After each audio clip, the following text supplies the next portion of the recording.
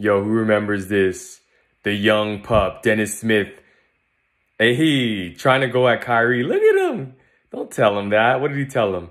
Kyrie, don't take that. That's Uncle Drew, bro. Don't let the mask fool you. That's Uncle Drew. Hey, hey. Wow, he just left him. He just, hey. He just, yakums. Peace, homie. I'm out. I'm out, bro.